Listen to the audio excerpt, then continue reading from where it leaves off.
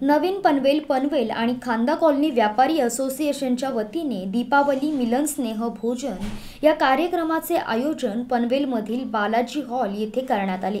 यावेळी भाजपचे रायगड जिल्हा अध्यक्ष आमदार प्रशांत ठाकूर आणि माजी सभागृह नेते परेश ठाकूर यांनी व्यापाऱ्यांसोबत संवाद साधत त्यांना दीपावलीच्या शुभेच्छा दिल्या.